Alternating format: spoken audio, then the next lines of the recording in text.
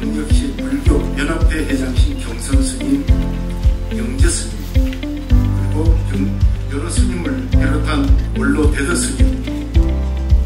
특히 바쁘신 일정에도 참석해 주신 부산광역시 박첨준 시장님, 신상의 부산시 의회 의장님, 김석준 교육감님, 정미용 금정구청장님, 또한 양재생 수석부회장님, 정창교 수석부회장님을 비롯한 여러 부회장님 대단히 감사합니다.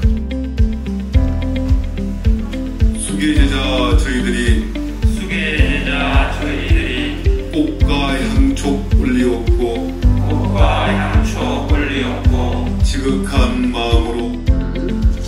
전생부터 부처님과의 지중한 인연으 로 기회를 받는 것입니다. 산보에 귀한 선남자 선녀인은